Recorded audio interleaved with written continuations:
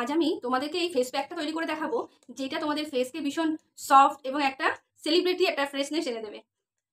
চলো দেখি তাহলে, এটা কীভাবে আমি তৈরি করলাম?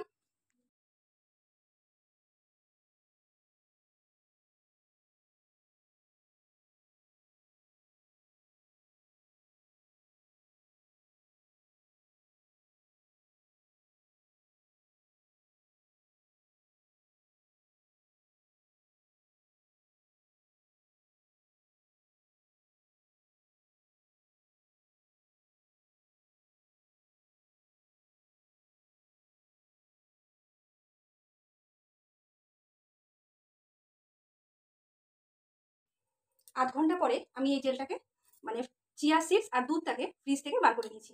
এবার দেখো, একটা জেল টাইপ দুটো হয়ে গেছে। দুটো একটুখানি মানে চিয়া সিডসকে যে কোনো একটু লিকুইডের মধ্যে ভিজিয়ে রাখলে সেটা একটু সফট হয়ে যায়। তো এখানে দেখো, একটা জেল টাইপ হয়ে গেছে। এই সব কিছুকে এবার আমরা মিক্সারে গ্রাইন্ড গ্রাইন্ড করে নেব। প্রথমে এটা দিলাম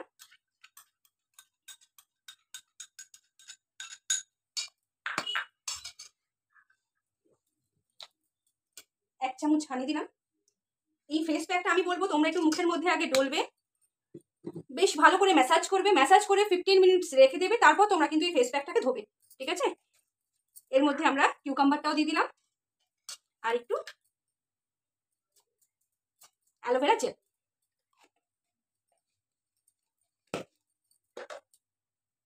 এই পুরোটা আমি মিক্সি করে নিয়ে আসছি। জিনিসটা মিক্সি করার পরে দেখো এই স্ট্রাকচারে চলে এসছে। একটা আঠা আঠা জেল টাইপ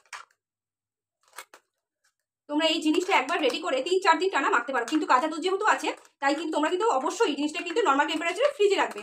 এটাকে কিন্তু বাইরে রেখো না। ঠিক আছে?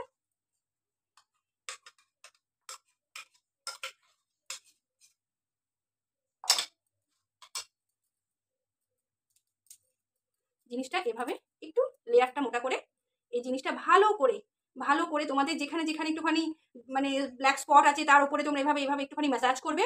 জিনিসটা টেন মিনিটসের মতো ম্যাসাজ করবে আর টেন মিনিটসের মতো জিনিসটাকে স্টে করতে রেখে দেবে।